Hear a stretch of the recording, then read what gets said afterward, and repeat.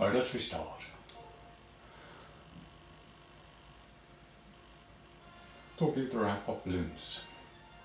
I've got five minutes and I speeded up over time so I was, I've been able to include more balloons in um, in the popping routine. I started off only doing about 150 and I'm up to my best is 431 It's my best. Um, let's start.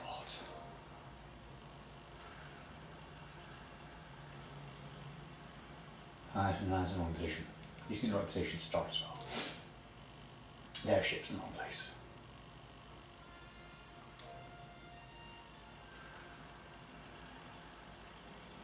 For example, I didn't used to do, there's a balloon on that ship there, boat, and then there's eight there. So you do those first, then catch this one here. I do um, think about ignoring it sometimes, then three it there. However, if you really do the really best score, you have to, you have to include it. And if you get everything, everything lines up, it can be included and do a decent score. And there's the two on the island, which I can't really see, I just know they're there. Then you pop over here, again. Pop all those, fly up to the big 50 balloon, pop that, and then um, fly over here, pop those, and then get to about there, turn over, and then start shooting. But my best ever time I think is 3 minutes 59, which gives you the chance to pop that purple balloon. And then uh, those three from up high, average is about 355 I suppose, to finish all. Then the, those, then those quickly, turn and shoot that or pop it with the plane. Pop all those with the angle to give you a chance to get the bonus car and there's also a plane which there's also a plane which um, flies past as well. Do those two, quickly and if you've got done it fast enough you can pop that green balloon on that car. Then those two which you can't quite see those, pick up the car, shoot those two, shoot those two or fly through them, those, then those, and I try and shoot those three at the same time as shooting those, and then because I've got time, because I'm waiting for the Zeppelin, I'll shoot those three, the car, those two, and one down the alleyway, some time again. Then, go for the two there, four there to give me the angle to shoot the balloons on the Zeppelin. Then I do those three and then aim behind there and try and get those balloons at the front. Take those two. So I've got rid of one, see? Because they're difficult to get. And the ones at the front, if you can ignore them, all the better.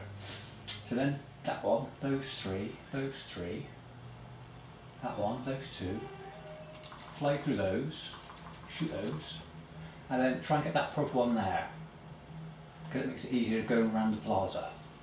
Then I leave that one, because it makes me, forces me to fly out to get those two, and then those three. Then I shoot all those, line up for those up there, and ideally be in that position where I can get those two and those two. That's the car which I sometimes can shoot, depends on the time. And then those two, those two, and then quick kick across, get those two, and then fly down. I need to get those three there, because when I fly around, when I fly around um,